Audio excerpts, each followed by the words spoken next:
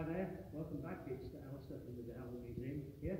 Um, we've seen the tiger moth already. I've talked to you about the tiger moth and what the tiger moth did. Uh, this behind me is a variation on the tiger moth, but it was a tiger moth designed for a very specific duty.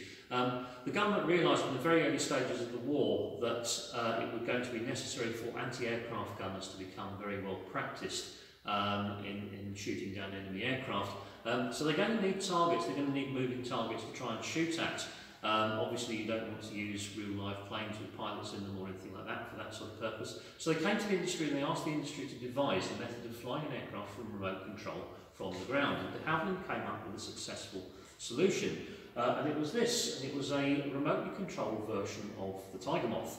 Um, and um, the idea was that this thing would be remotely controlled from the ground, uh, would, would fly around uh, and would tow a target behind it, usually a large flag or something like that, the gunners would be able to would be able to practice shooting at. The thing is that, of course, if the gunners miss the flag target and they hit the aircraft, nobody has been killed, so it's a safe way of carrying out target practice.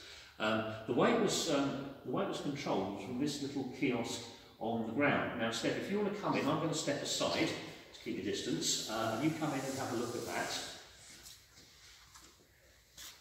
And you can see that this control kiosk is what's controlled it, and you can see what looks on the front like an old-fashioned telephone dial, because that's exactly what it is. Um, and that's how it was um, controlled from the ground. You can see if you look very carefully at it that it doesn't say 1, 2, 3, 4, 5 around the dial. It says turn left, turn right, climb, dive, glide and things like that. And so you'd actually dial up what you wanted the aeroplane to do and the aeroplane would hopefully hear you and it would go off and do just that. Uh, and it doesn't sound very promising, does it? But in actual fact, it was quite successful. Uh, and a lot of them were made. 400 were made. The, the Army and the Air Force used them from the ground. The Royal Navy used them. They used to put them on the turrets of battleships. They had floats on them instead of wheels. Uh, and they would fly, we launched off a turret of a battleship. Uh, they would fly around the fleet and they'd all, they'd all take pot shots at it. Uh, and then the thing would land back in next to the next to the battleship that launched it, uh, which would hang out a crane and plonk it back onto the turret.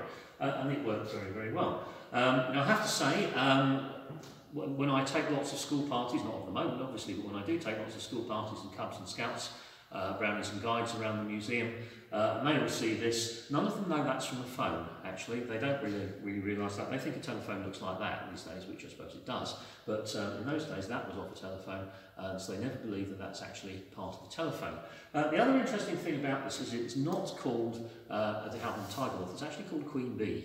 Uh, now, you know that the queen bee in a beehive is the lady in charge, she's the boss in the beehive, um, and all the other bees in the, uh, thank you there, Steph for the thumbs up, um, and uh, all, the, uh, all the other bees in the uh, beehive are worker bees, and some of them are called drones. Um, and that's how the name of drones for pilotless aircraft supposedly originated, because this was only the first of its type. There were actually pilotless aircraft being experimented with all the way back to the First World War. But this was the first one that really went into serious production.